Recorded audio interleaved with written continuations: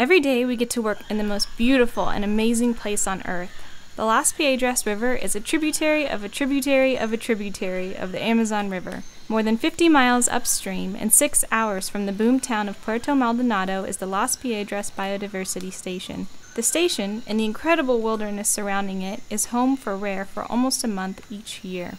Even though it's deep in the heart of the forest, the station is a really comfortable place to live.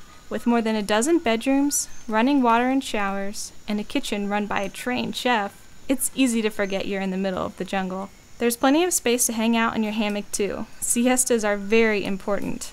The Biodiversity Station is also a lab, studio, and office as well as a home. We have a solar generator for power, a satellite internet connection that keeps us in touch with the outside world, and all sorts of cutting edge research equipment and supplies.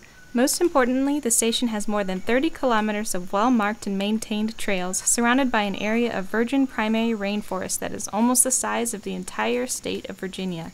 The station is a place where you can design and carry out your own original project, eat delicious food straight from the jungle, go swimming beneath waterfalls, kayak on undammed rivers, see macaws first thing in the morning, and hear howler monkeys on the edge of the camp. It's a beautiful place to work and a wonderful place to live.